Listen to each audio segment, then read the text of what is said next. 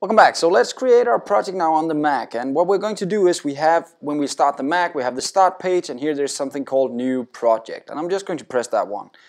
Um, in here I'm going to select console application, the top one, not the core web API. We'll do that later on. So that's what I'm going to pick here and I'll say next.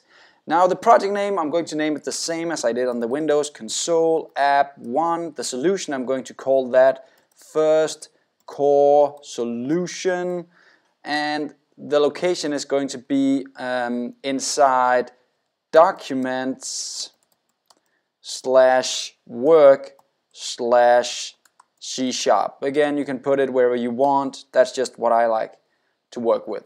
I'll create the project directory within the solution directory. I used GitHub they just decide to put git directly. So I'll use a git for version control and I'll add a git ignore file. That's pretty important. That'll add some essential git ignore information. We'll get back to that later. Let me not dive into that right now. I'll say create and we'll give it a few seconds to actually get up and running.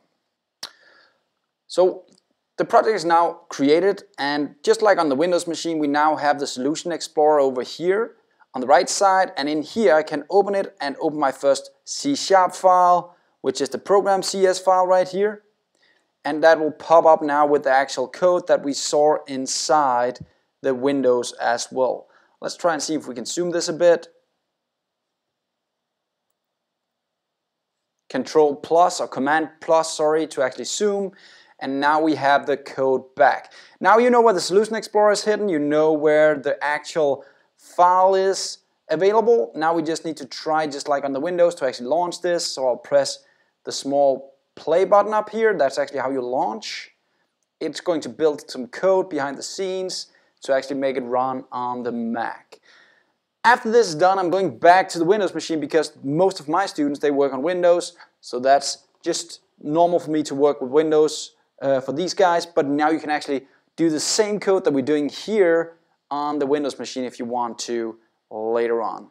So right now it's building the console app, you can see that right here in the center and hopefully soon it'll pop up and show you guys the actual application. So after a bit of time it pops up with something like this, console application where it says hello world. Press any key to continue. Let's just, just to show you guys, this is actually console write line hello world, so that's how we prove that we are actually up and running. I'll just press any key and it'll shut down everything. Process is complete, I can shut down the window and my program is shut down again. See you in the next lesson where we'll switch back to the Windows machine and we'll start actually creating some real code. Have fun.